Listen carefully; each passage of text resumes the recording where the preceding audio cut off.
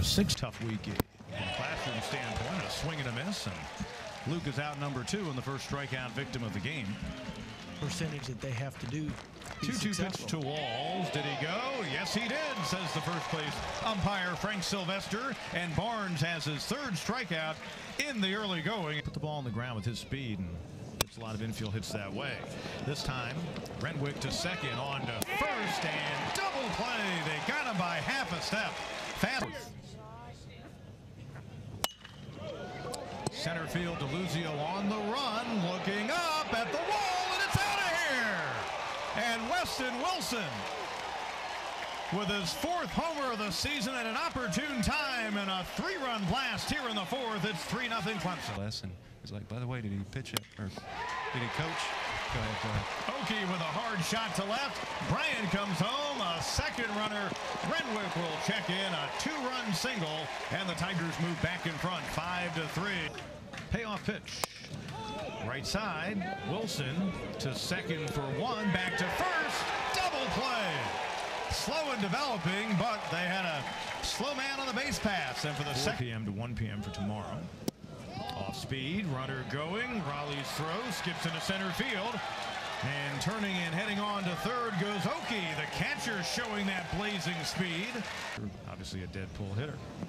Off speed pitch, liner to right. That's going to get in for a base hit. Okey scores an RBI for Beer, his 47th of the year.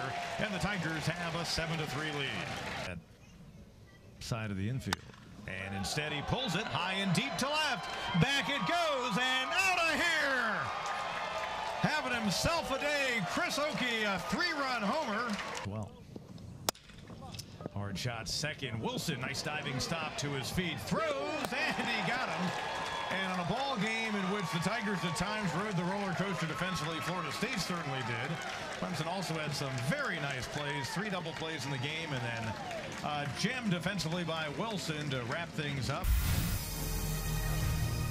Just six strikeouts on the year for a guy. Granted, he only has four home runs, but again, profiles as more of a power guy than anything else. And he goes the other way into right field. Let's see if they send Raleigh. They're going to send the catcher. Beer throw to the plate, and it gets past Okey. But Florida State a second run here in the inning to take a 3-1 lead.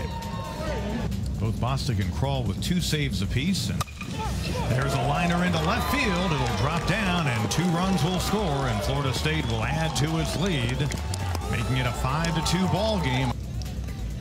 The Seminoles not getting any runs on the board, but it's going to take some craftiness out of the left-hander and a liner beyond the reach of Wilson into right center field. Raleigh will score. They're going to wave the runner Busby. Here he comes. Wilson cuts the ball off, and it'll be first and third with one man out, but two runs in on the single by Deluzio, his second of the ball game, and the Seminoles build their lead to five runs at seven to two. As you noted, he's a lanky guy. Tigers have some size. We saw the 6'4 Brooks Crawford yesterday. There's one left center field gap. Pinder on the run, and he dives. Did he catch it? He did. What a grab!